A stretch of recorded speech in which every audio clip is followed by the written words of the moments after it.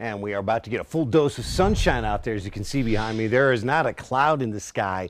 We're going to wait towards a 6:50 morning sunrise, just 20 minutes away.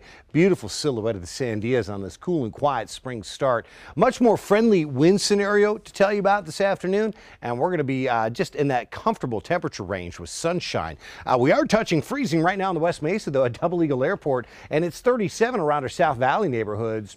Rest of the Albuquerque metro, somewhere in those middle 40s. Got the Sunport at 47 right now. It is quite cold in northeast New Mexico. We've got a 27 in Raton and an 18 in Las Vegas. It's 35 in Moriarty. Uh, 18 in Las Vegas. You are the cold spot by far out there. That's where you're going to need a winter coat out the door. It's a jacket, hoodie, sweatshirt morning here in the Albuquerque metro. On our way down to 45, back to 54 at 10, and it's 60s through the afternoon with a late day cloud cover buildup, but we do see skies staying dry in Albuquerque. High 67 at the Sunport, 68 for you in Rio Rancho. Got Santa Fe around 60 and afternoon winds out of the southwest. Going to be somewhere in that 10 to 15 range, a much more friendly wind speed for us.